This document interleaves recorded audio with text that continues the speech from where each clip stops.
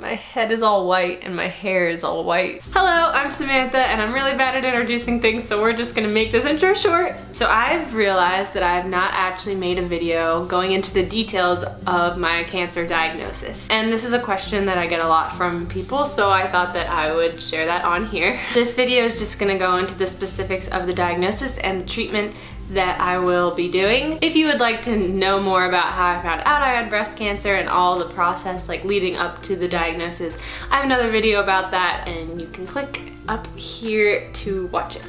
So a lot of people ask me, aren't you too young to have breast cancer? And yeah, but I do, so no. breast cancer is really rare in women under 40 so obviously that makes it even rarer for women under 30 and people in their teenage years and all of that. But it still does happen. So if you think you might have breast cancer, get it checked out. Normally when breast cancer happens in younger women, well, it doesn't usually happen, but when it does, it's a really aggressive form of breast cancer. So if you are young and you think you might have breast cancer, that's even more of a reason to go get it checked out. Thankfully for me, I do not have a very aggressive form. It's very common in older women. I've got all the details on my phone here, so I'm going to be reading from it. So on March 7th, 2019, I was diagnosed with invasive ductal adenocarcinoma. And mine, I guess, has some micropapillary features. and it is grade 2, not stage 2. There are differences in uh, the meaning of stage and grade that um, other people can explain. I'll link a video down below that explains that more. Grading is based off of three different scores and they all have to do with the cancer cells. My cancer is also estrogen and progesterone receptive. it's hormone receptive. People know what that means. It's HER2 negative. So what the heck do all those things mean? Basically all that is pretty good news, I would say. The fact that it's hormone receptive just means that it is able to be controlled by hormone therapy. It's using those hormones to grow, so if I can take a pill or something to stop those hormones, then the cancer can't use that as fuel to keep growing. Invasive ductal carcinoma is a very common type of breast cancer. It's basically when stuff just goes wrong inside the milk ducts, the tumor uh, starts in there and breaks out and just cancer.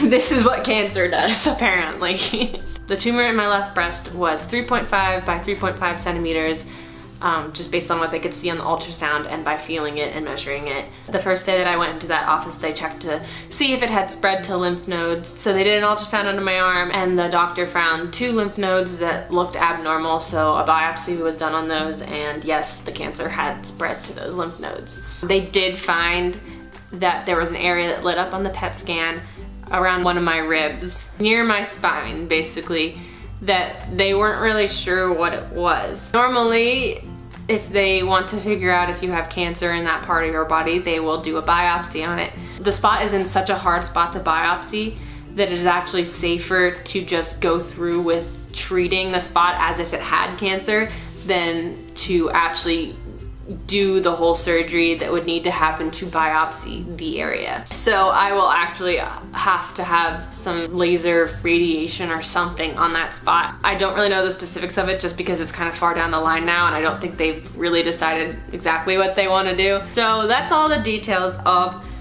what is actually wrong with me. What does this mean for treatment? Basically there's four steps. First is chemotherapy, yay. Two types of chemotherapy. First I had to go through AC, which is adriamycin and Cytoxan. I had four rounds of that and they were on every other Friday. If you wanna know more about AC, I've got another video about that. Oof you feel awful when you're on that stuff. Then after AC chemo, I had to switch to a different type of chemotherapy, which is Taxol. I have to do Taxol every week for 12 weeks. And so far I have gotten through eight of those treatments. Taxol still kind of sucks because it's still chemotherapy and you still kind of feel a little bit gross after. But it is a million thousand bajillion times better than AC. They mentioned to me that I might not get through all 12 rounds of the Taxol because one of the side effects of Taxol is that it can cause tingling in your fingertips and your toes. If that got too bad, they would stop the Taxol because they don't want me to have permanent nerve damage. It's Really nice of them to think about me like that. And I actually do not have bad neuropathy. It happens every once in a while, but it's not very consistent and it only lasts a few seconds. So they're thinking that I will get through all 12 rounds of it, which is really good because I would like to kill as much of the cancer as possible. After chemotherapy, we move on to the second part of treatment, which is surgery. They want to remove the tumor and some of the lymph nodes that are affected. And basically there are two options for surgery. You can either have a lumpectomy where they just remove the tumor or you can have a full mastectomy where they take out the entire breast tissue. And I have not completely fully decided what I'm going to do on that. The doctors from the very beginning recommended a double mastectomy. If they get rid of all of the breast tissue, there is just a lower chance of the cancer coming back. And since I'm so young and I have so many more years left to live, they recommend me just getting rid of everything that could possibly make cancer come back. And then there's reconstruction that comes with that, basically figuring out what kind of implants to put back in there or